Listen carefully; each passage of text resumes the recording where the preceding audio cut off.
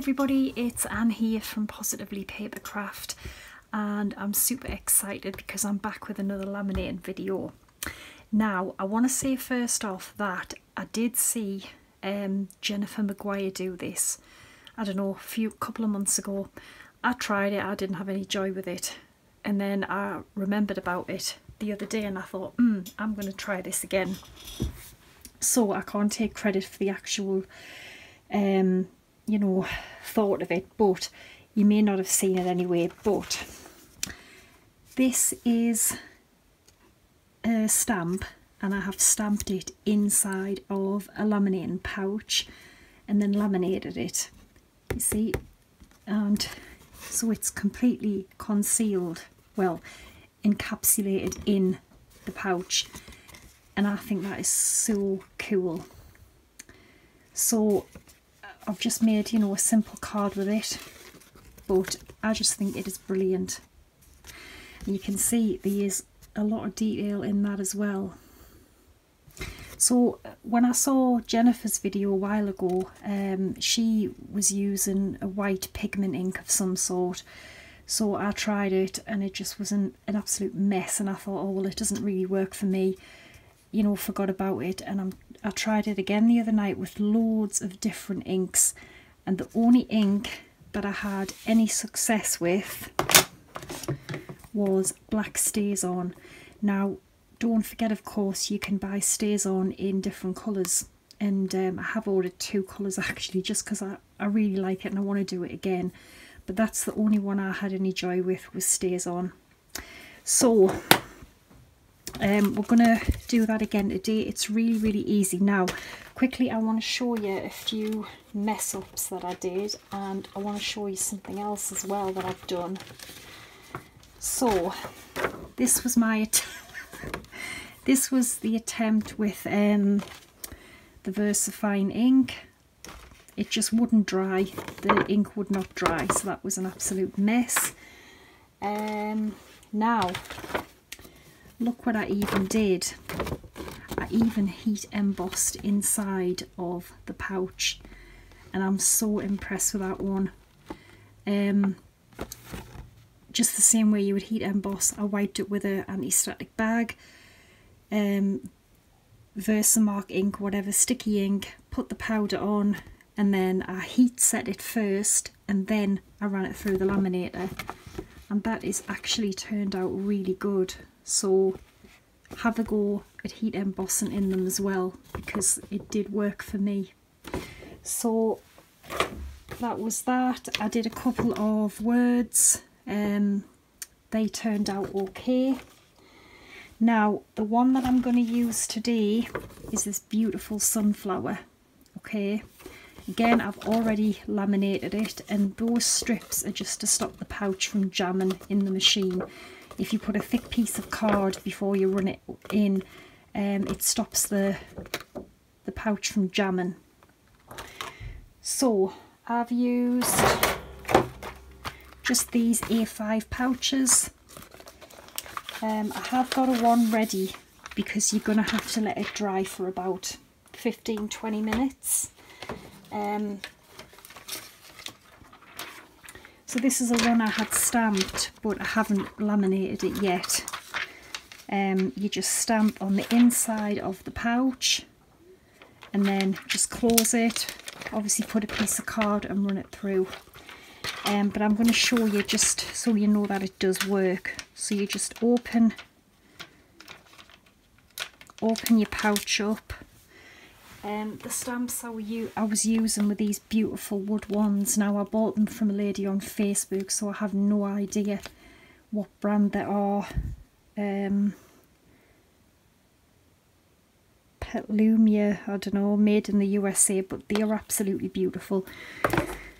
So StazOn, now my StazOn is quite dry. I've just had to order a re-inker because it's not the best. I've had this a few years now. So you just give it a good ink.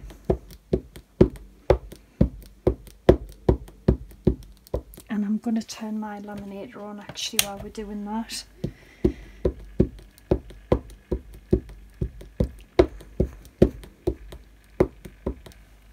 so that should be enough and then I've got my pouch. Obviously you want to leave room to put like a, a thick piece of card or you know a strip of card. And then you just got to put it down. Just be careful it doesn't move. And then I'll just give it a few presses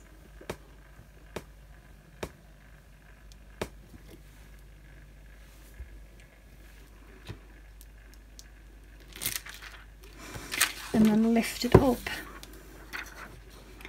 And that has stamped absolutely beautiful. So as I said you will need to let that dry for about 15-20 minutes just to be on the safe side because if it isn't dry it will just smudge like I showed you with the other one. So I'm going to put that to one side to dry because I can make another card with that later. So I've already got that one for the card and we are gonna run this one through that I stamped a while ago so I know it's dry. So let's just pretend that one I've stamped is dry okay? Um just a little bit of scrap card. Just, just cut a piece. And then all you'll do is put that up against the fold and there's much less chance of the pouch jamming alright so I've got my laminator on here. It should be nearly ready and I've got it on the 125 is that MC or MIC and then because I have an 80 and a 125 I've got mine on the 125 so just wait for it to be ready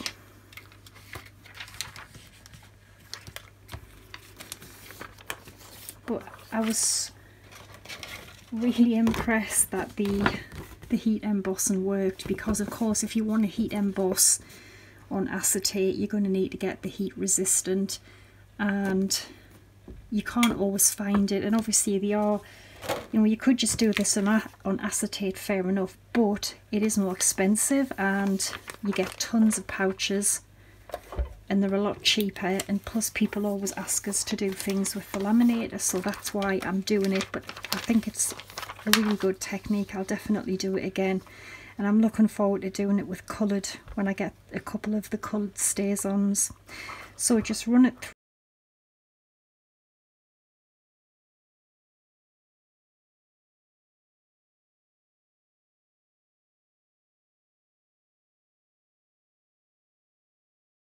Okay, there we go. That is that done and ready.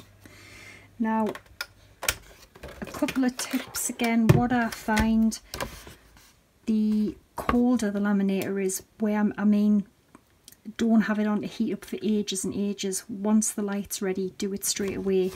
I find if you let it heat up for ages and it's really, really, really hot, you tend to find the pouches wrinkle more and you also sometimes get like a little white kind of mist inside of them. I don't know why that is, but that's what I find. So we've got that one um, and I've already done that one, but as I said, I want to use the sunflower today. So I've just cut a six by six card and just a small, a slightly smaller bit for the front of the card. Now, I'm going to use my layering ovals here. I think it was this size that I used, yes.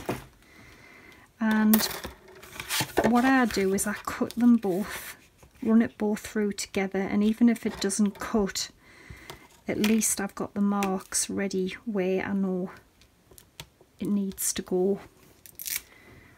So I just tape that down and then I just run it through like this.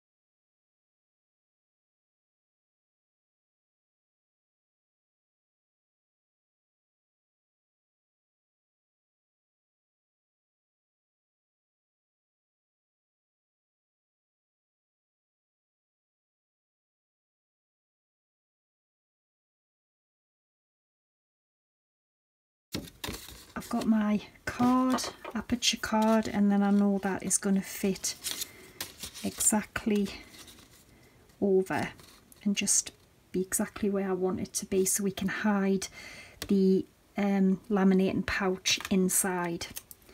Right, I'll quickly get this out the way because I then want to do some heat embossing on the front as well.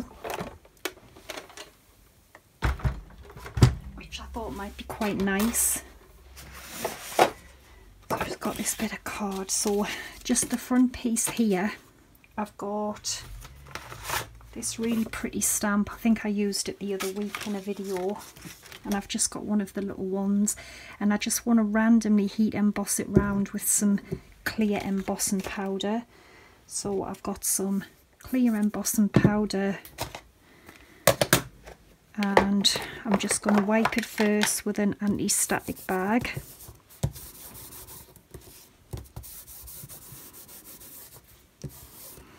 And I always emboss it after I've cut it because then we're not wasting stamping on bits that we're going to cut out really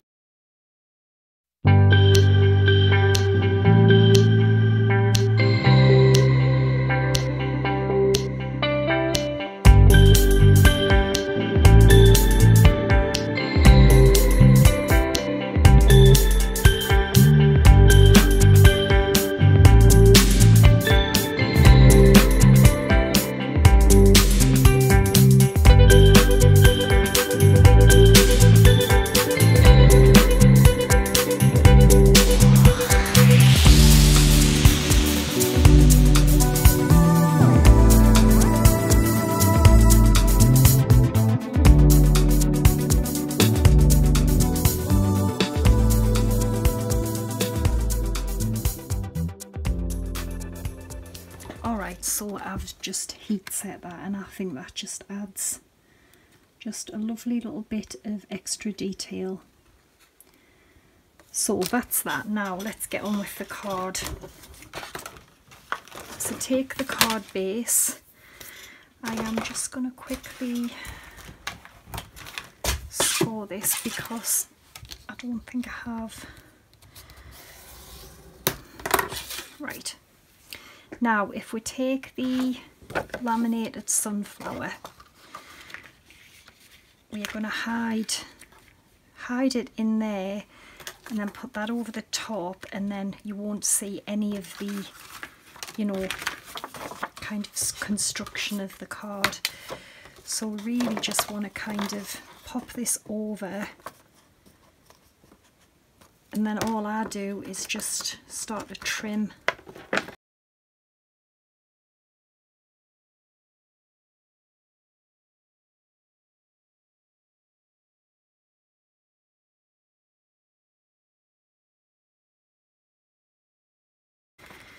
just a bit just all around like that. And then it's going to get glued onto the front of the card.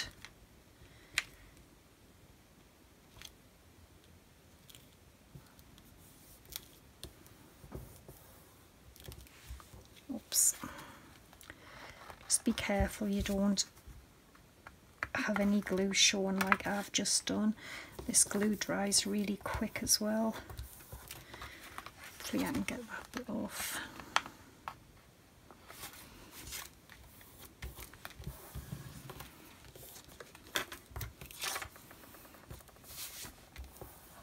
Right, and then this bit here, turn it over. And I've just got some of these foam pads.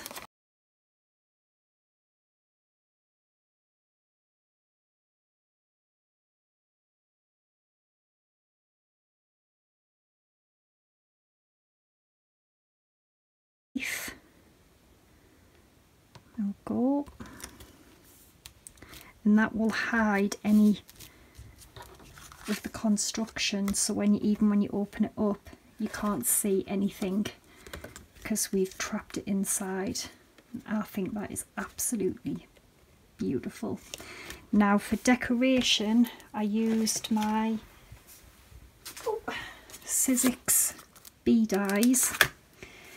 I thought they would be a really nice little die cut to add. I've cut them out and I've put some Spectrum Sparkle on them. And I'm probably going to have them something like that, I think. And then I've got two little sentiments from this stamp set, which I think is especially for you, friend.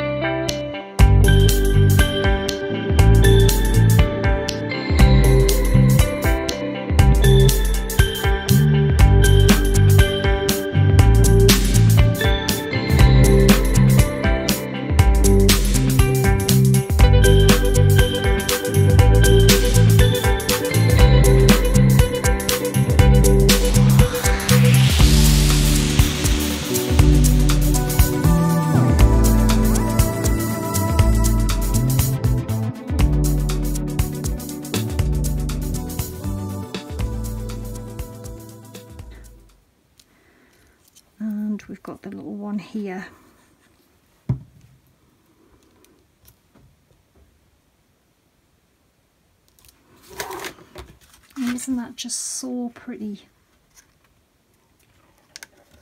I mean, it's so detailed as well, that's the stamping.